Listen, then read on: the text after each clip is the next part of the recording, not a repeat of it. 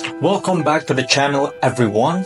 Today we're diving deep into Buddhist concept of dana, going far beyond just tossing a few coins in a bowl.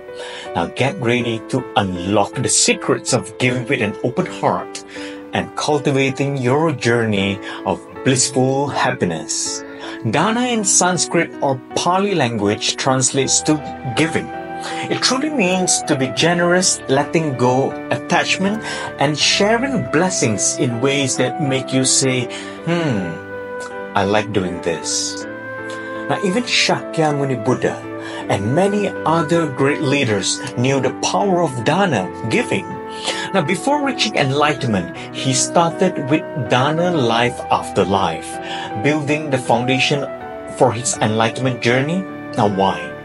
Because dana is the first among the 10 essential qualities called paramitas on the path to enlightenment.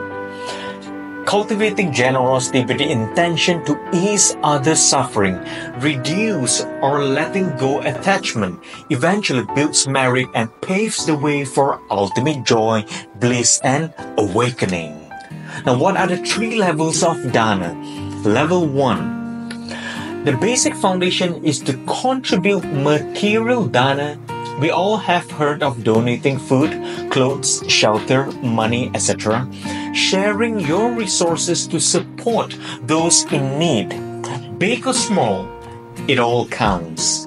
Level 2 is body dana, whereby the merit is higher, offering parts of your physical body like your blood, organs, or even your eyes. Not everybody's comfortable here, but for those who choose this, it's the ultimate act of selfless giving. Now remember the genius Albert Einstein? He wanted his brain studied after his death, contributing to scientific knowledge even after his life. Level 3 Dharma Dana, whereby the merit is the highest among all, sharing the nature of reality, universal truth.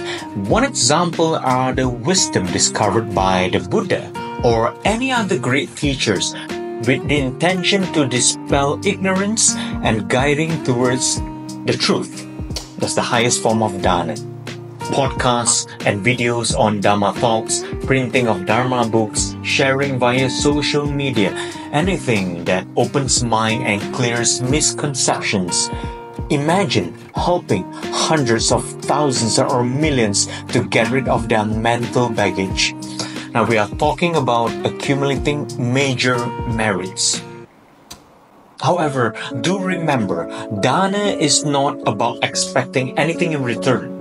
It's about cultivating a joyful spirit of giving and letting go every act from a smile to a life-saving organ donation to sharing universal truth contributes to your own physical and spiritual well-being creates a vast effect of kindness in the world.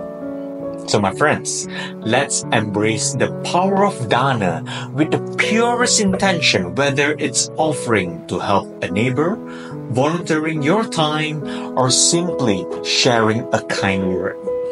Let's make this world a better, more compassionate place together. And thanks for joining me in this journey of Dana. If you enjoyed this video, hit that like button and subscribe for more insights into the journey of wisdom. Until next time, may your acts of generosity light the way for others. See you.